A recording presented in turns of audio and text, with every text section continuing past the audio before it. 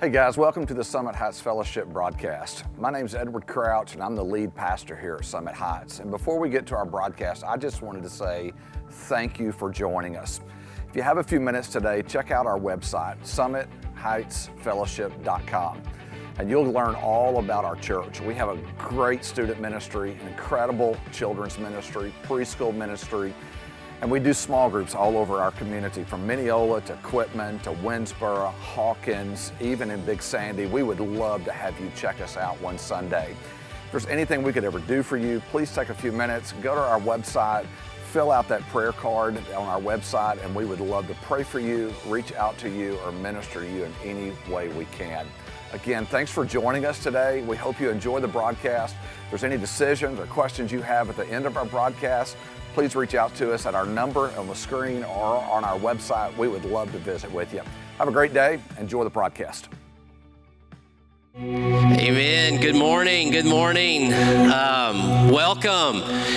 Glad that you're here this morning. So, how's everybody holding up out there after uh, another week of chaos? You know, it's interesting that um, I'm finding, just like we talked about last week, if you were here last week and we talked about that burial season, and uh, there's two different extremes when it comes to responses to what's going on because there's two different opinions. Um, and uh, a lot of us have found ourselves on one side of the extreme or the other. And it's been very interesting to see, even more so over the last week, how depending on what extreme you're on, will determine how you respond to the chaos that we're in. It's interesting. I found myself this week, even, even after last week of preaching to myself about what I should be doing, I found myself this week in a pattern of trying to control the narrative of this whole coronavirus pandemic. I found myself being fearful, not so much that I would catch coronavirus, but found myself being fearful of the unknown. I like to be in control. I like to know what the end is okay? And we don't know that yet. I don't know that yet. With every day that, that we wake up and we see um, a new news conference and some new guidelines, so to speak, the thought pattern comes into my mind is I'm losing control over the narrative. I'm losing control over my schedule. I'm losing control. It would almost be as if if they would just come out and say, Jake, you need to lock yourself up in your house and you can come out on May the 1st, and when you come out on May the 1st, everything will be back to normal. I can deal with that because I know the end game. And when I don't know the end game, when I'm out of the loop per se, I feel like I begin to lose control. And so, what I do in an unhealthy way, and I know nobody else does this, this is just me. What I do is I begin to try to control the narrative. And so, what I do is if I'm scrolling through Twitter or I'm scrolling through Facebook and I see something that fits my narrative, I'll like that. If I see something that doesn't fit my narrative, that just goes away because I need to feed myself with people, memes, articles that feed my narrative. Now, I know I'm not the only one. Because I scroll through Facebook and I see some of your posts, and I see some of your Twitter, and I see some of your responses to what's going on. And I think the trap that we have fallen into, and I really don't mind saying we this morning because even if you were like me, I started off last week staunch in my faith, and I still am, that I wasn't going to get caught up in this. I found myself still trying to control this narrative. And so what I think is happening is, is we have begun to respond to this crisis in a way that maybe we need to take a step back and rethink. And so I started asking myself the question, why do I do this? Why do I do this? Well, I mentioned one is control. I need to be in control. And I think another underlying um, element to all of this is even if you're like me, and even if you are um, so, so secure in, in everything that's going on and you're trusting God and, and all of that good stuff, and even if you were to say, I am not afraid, I do think there's an underlying fear of the unknown in all of us. Listen, let's be, let's be real. We don't know what's going to happen. And so I was reminded of something this week that I want to share with you this morning because at the end of the day, the experts on all of this, they can't even agree. The experts, the ones that are supposed to be controlling the narrative, are letting the narrative get out of control because they can't agree on next steps or what's going to happen next. How long is this going to last? I've heard everywhere from two weeks to two months to three months until the fall. Nobody really knows. And so I had this realization this week that the world is starting to find out what we as Christians should already know. None of us are in control. None of us are in control, and none of us have this figured out. The problem is, is that we expect the world to respond a certain way when unknown chaos creeps in. They're going to respond the way the world responds. But here's the question that I want to challenge you with today because I was challenged with it this week. How am I supposed to be responding in times of crisis and chaos? So, we talked about last week this whole idea of burial, that we're in this burial season. And I challenged you with a couple of things. Number one, during this season, find out what God has for you. And then number two, find out what He wants you to do in the midst of the situation that we're in. And so, I had a friend of mine send me a podcast. Many of you know Life Church in Oklahoma City, Craig Groeschel, who is a phenomenal uh, teacher, and they have campuses all over the country. And he sent me a podcast Craig Groeschel was actually quarantined for 14 days because he had been exposed to coronavirus. And during that 14 days, God spoke to him. And it was the most incredible podcast I think I've ever heard. And it so fits what I think we should be going today. And so if you know anything about Life Church, Life Church puts all of their material online. It is free to anybody that wants to study it. And uh, we have full permission today because I think he made three key points that I took to heart this week, and I want to pass those on to you because at the end of the day, I still believe what I talked about last week. We are in a season of burial. And we don't know how long we're going to be here. But in this time, as we're passing through this crisis, knowing that there will come a day where we are on the other side of this, how are we supposed to be responding? If you have your Bibles, I want you to look at a passage just really quick. If not, it'll be on the screen. Romans 12, 1 and 2 says this I appeal to you, therefore, brothers, by the mercies of God, to present your bodies as a living sacrifice, holy and acceptable to God. This is your spiritual act of worship. And then listen to what he says in verse 2 Do not be conformed to this world do not be conformed to this world, but be transformed by the renewal of your mind, that by testing you may discern what is the will of God, what is good and acceptable and perfect. And so I want to present a question to you today. How will we respond? You know, this passage is very interesting. He says, Do not conform to the pattern of this world. I was reminded of a very important truth this week is that the world is going to do what the world is going to do. And me, as a Christ follower, I do not need to be conformed into the world's response to what's going on right now in our country. That there are two different responses that should be going on the world's response and then the response of the church.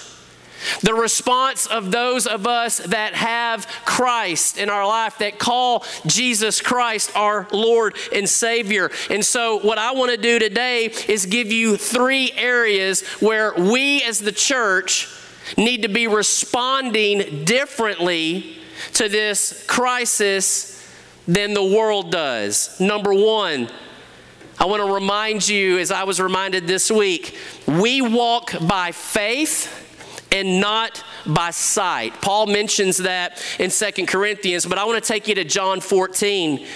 Jesus is about to leave his disciples and he makes an interesting statement in John 14, 1. He said, Let not your hearts be troubled. Believe in God believe also in me. He made that statement knowing that he was about to be crucified and knowing that he was about to leave this world. And these disciples that had been walking with him for three years were going to be left all alone without Jesus in the flesh. And he told them literally, Don't let your hearts be troubled. Believe in me. Believe in God. Trust the process. There's something bigger going on here. And I think in our response, we need to be walking by faith and we need to be reminded of where our faith is. In, four, in John 14, 27, he goes on to say this Peace I leave with you, my peace I give to you, not as the world gives. That is so huge, not as the world gives. Then he says again, let not your hearts be troubled, neither let them be afraid. As I mentioned earlier, whether we want to believe it or not, I do believe there's an underlying element of fear because we don't know and we can't control the narrative. Jesus reminds us, as Paul wrote in Second Corinthians, our response in a time of unknown, our response in a time where it seems to be chaotic, is we need to remember that we walk by faith, not by sight. Jesus told his disciples, You, you listen, you're, you're not going to see me. I'm going away. But just because you don't see me, I need you to continue to walk by faith. So don't let your hearts be troubled. Trust in God trust also in me. And then he says, I am leaving you peace, not as the world gives. Because the world doesn't give us peace. The world gives us CNN, Fox News, Twitter, Facebook. The world gives us chaos. The world gives us fear. The world controls the narrative from a fearful place. Jesus has given us a gift. And maybe this doesn't apply to you, but it applies to me because I had begun to forget the gift of peace that Jesus has left, not just for me, but for all those that call him Savior and Lord. This is the essence of faith.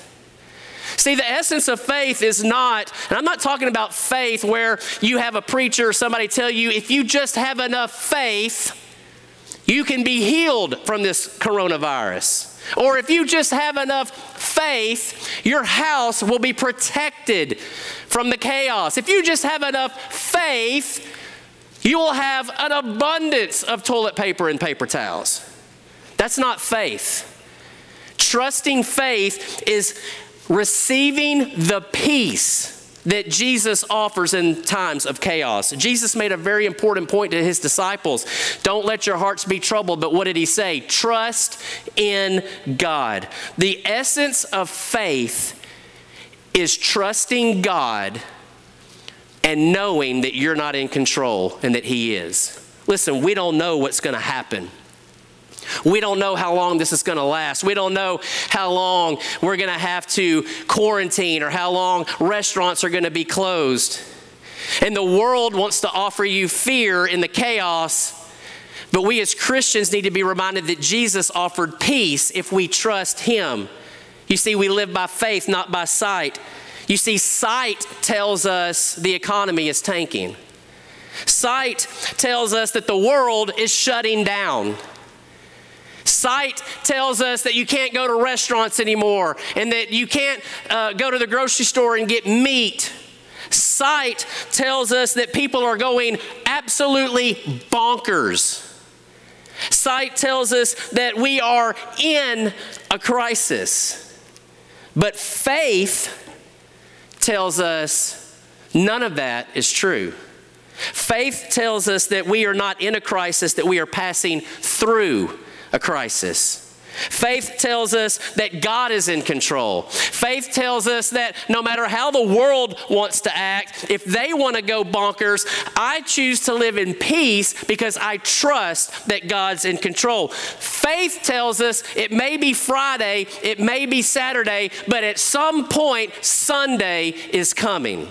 Amen?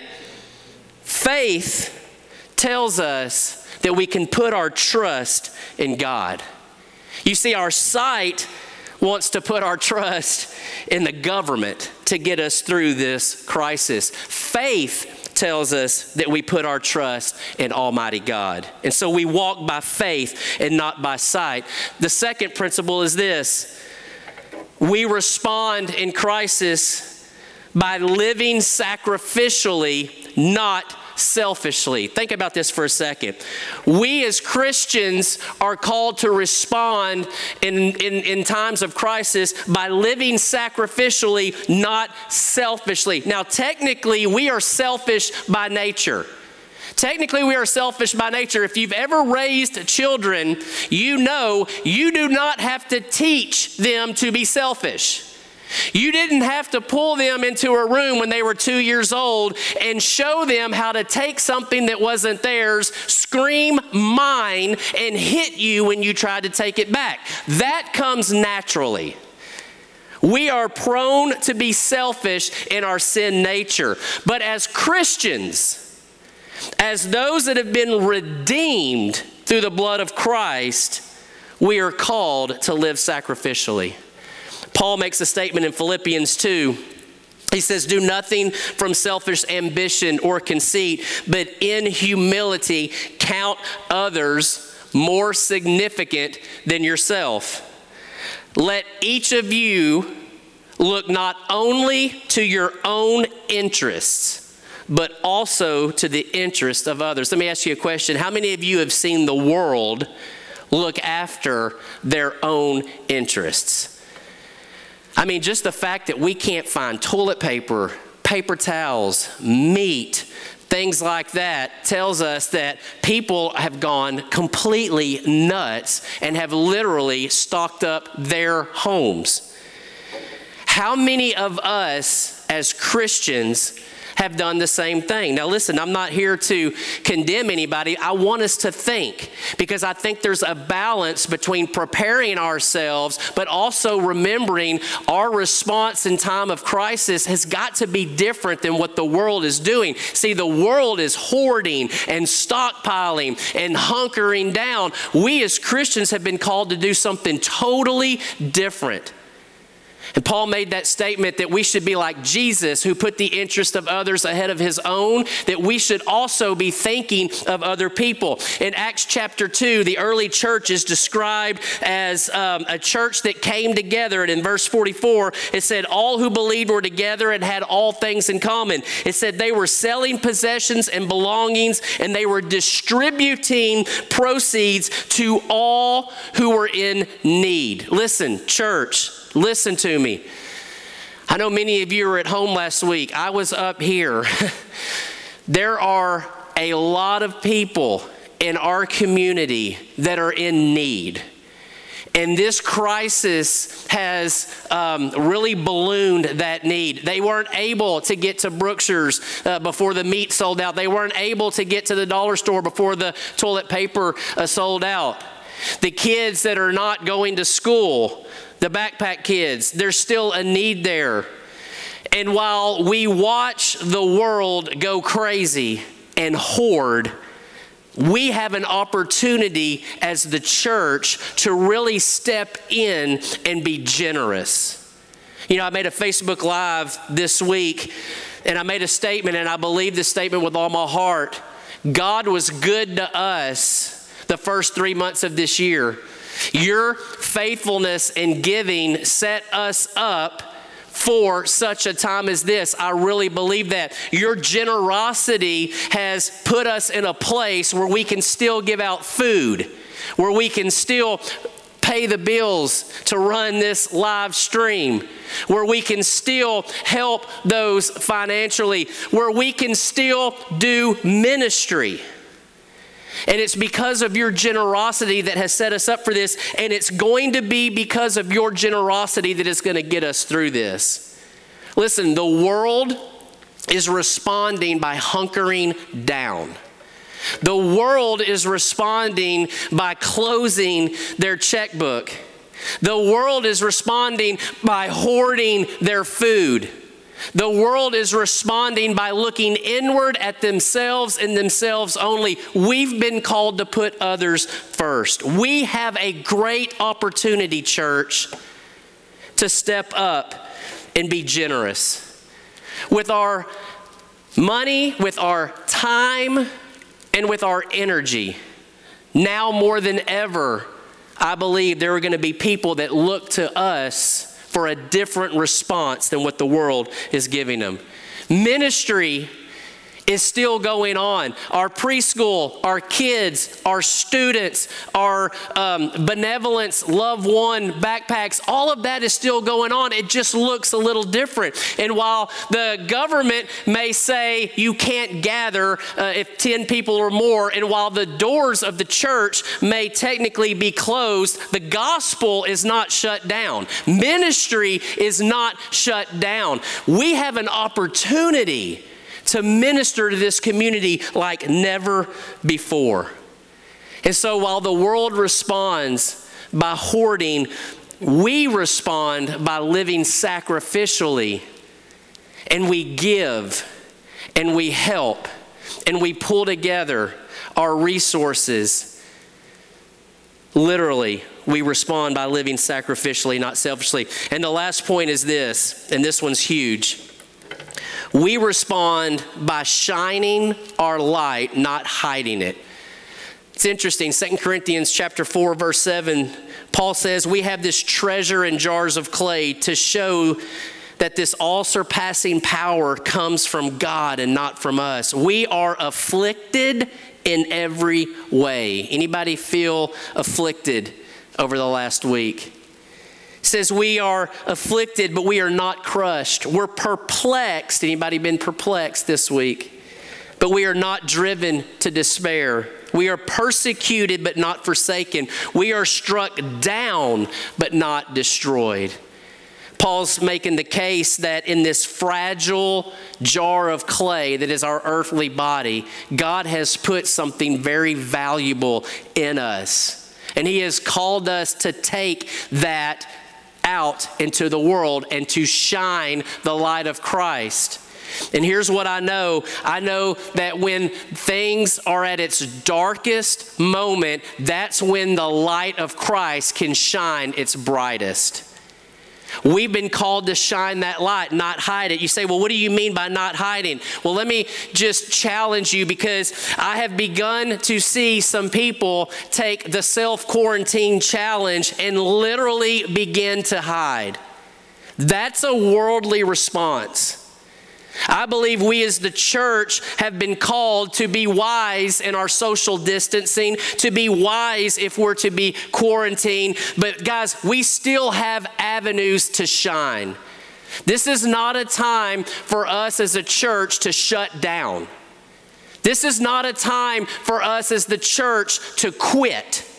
This is not a time for us as the church to sit back and wait and see what happens. This is a time for us to shine. This is a time for us to engage people with the gospel. This is a time for us to step out of our comfort zones and actually begin to initiate gospel conversations. Don't distance yourself. Don't fall into the trap of anger. Don't fall into the trap of sadness.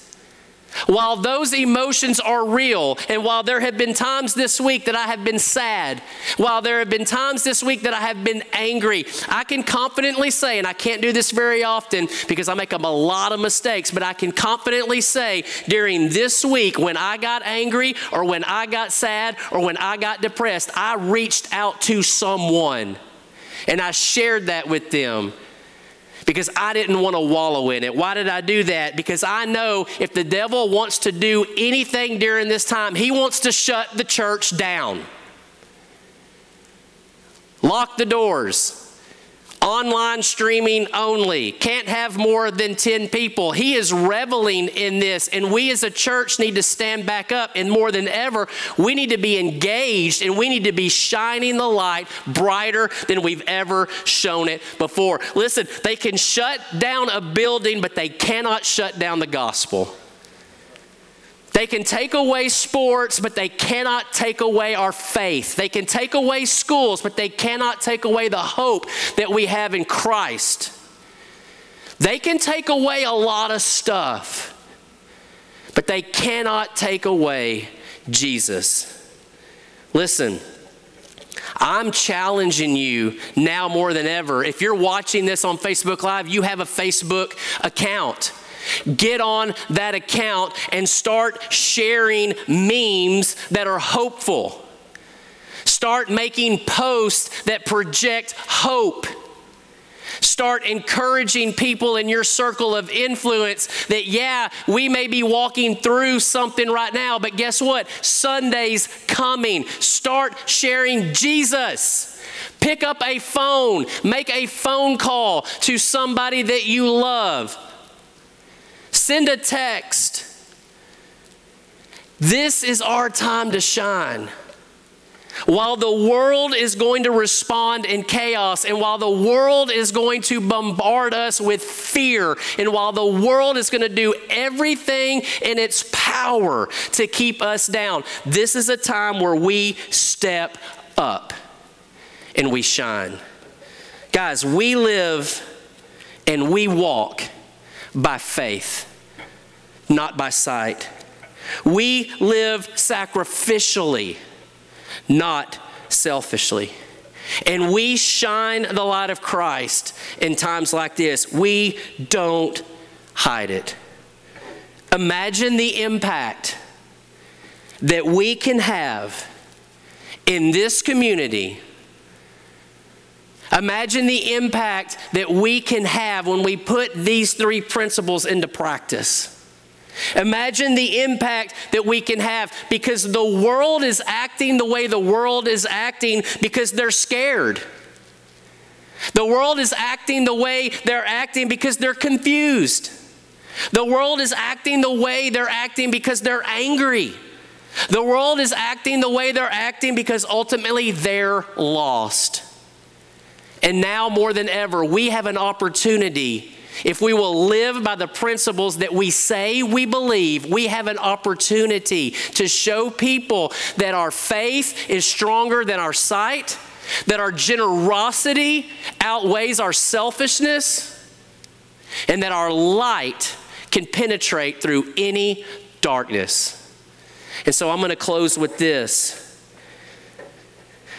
a statement that I read. It's one of those positive things that somebody sent me, and I want to throw it up on the screen. Hopefully, you can see it on the live. If not, I'll tell it. I'll, I'll just read it to you. And I really believe this. We have proven over the years, we have proven over the years that we can go to church. Now let's see if we can be the church. This is our time and our moment to take the gospel into a hurting world. And we need to do it through our faith, through our generosity, and through shining our light. Will you jump on board with me? Let's go change the world. Let's pray. We're going to sing another song. I invite you, if you're at home, stand up after I pray and worship. Father God, thank you for a word that was spoken by a man hundreds of miles away that somebody sent me that really changed the trajectory of my week.